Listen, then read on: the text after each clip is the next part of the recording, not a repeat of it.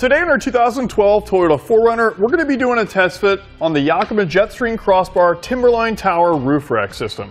I've already got it in place just to give you a good idea what it looks like. Now this is specifically designed to mount to our raised rails on our 4Runner.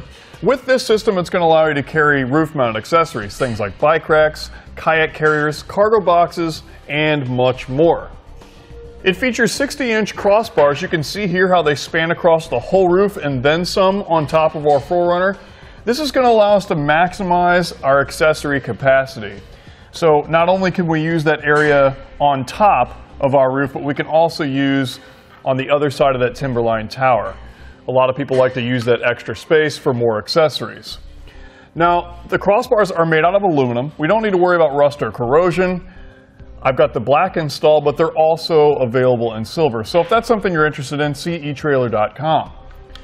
Now they're going to work with your standard clamp-on accessories. They'll also work with your T-slot accessories. You simply remove that end cap and we can slide that T-bolt right over that rubber strip. There's no reason to trim or remove, and it's going to give us that nice clean look. Now you'll notice the crossbars are aerodynamic. These are going to be a lot quieter than your traditional round or square bars, so these are definitely a step up and a premium option. Moving on to the towers. Four Timberline towers keep those crossbars in place. These are what clamp around your raised rails. They feature a rubber coated stainless steel strap. The nice thing about them being rubber coated is we don't have to worry about them harming or scratching the finish of our raised rails. Now underneath our cover here, you can see how it protects our hardware. This is what keeps the rubber strap from being accessed. Once everything's tightened down, the cover goes back on, and if you'd like, you can pick up some metal locking cores from eTrailer.com, and it adds a little bit more security. That way no one can remove your roof rack system from your raised rails.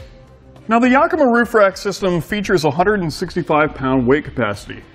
You do, however, want to check with your 4Runner's owner's manual to see if your roof can support that much weight. You'll want to go with whatever number is lowest. That way we can safely carry your accessories. Now that we've gone over the features, I'll go ahead and show you how to get them set up. I've already got that front crossbar in place mounted to my raised rails on my 4Runner.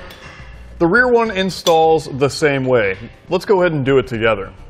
Now on my white table here, I've got one of my Timberline towers already installed. We just need to repeat the same process on the other side. So what we can do to make it a little bit easier, let's go ahead and turn our Jetstream crossbar over. That way that bottom channel is visible. We'll then take our Timberline tower and let's go ahead and remove the cover here and undo the strap. Now we've got some assembly here on top. We'll need to take our fit kit for our Jetstream crossbars and install it right here. So we'll take the black piece first and we're gonna give it a good push until it clicks. Then we'll take the metal piece here and just place it directly on top. Now we want to hold it in place as we turn it over and push our strap towards us. And that's going to open up the hole here, that way we can tighten it down. So we'll take our included tool, put it down through here to that Allen bolt and tighten that down all the way. Now our included tool here is going to click when it's properly torqued down. That's one of the unique things about the tool. Listen for that click and then we can turn it over.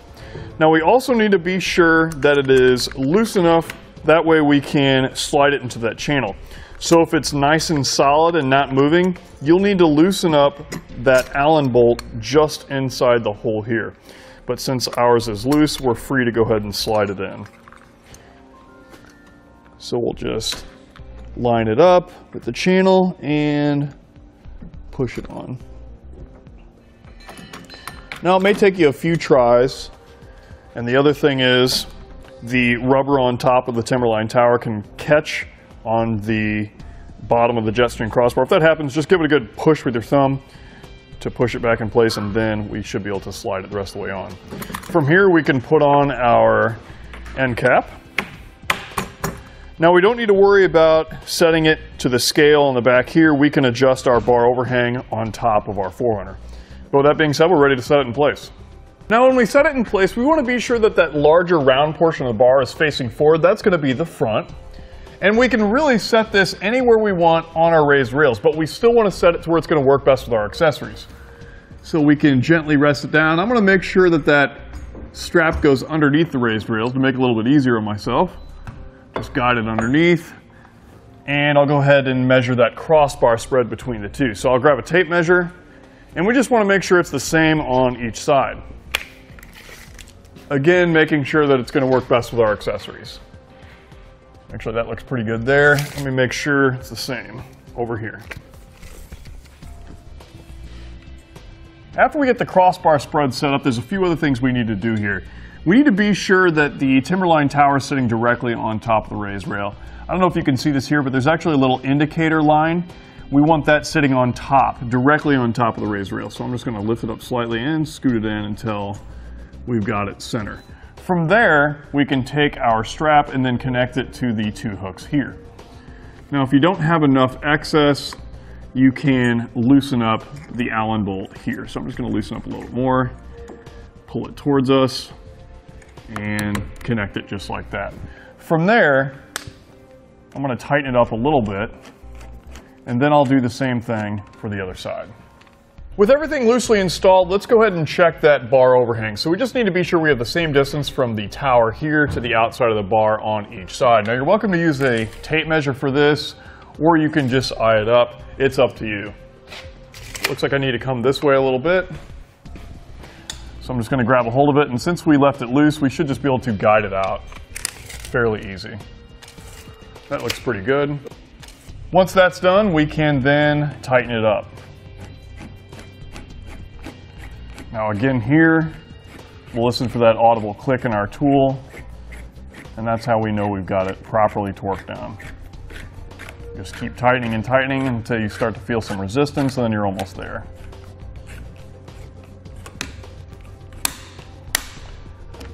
From there, we'll also want to tighten down the Allen bolt on the inside.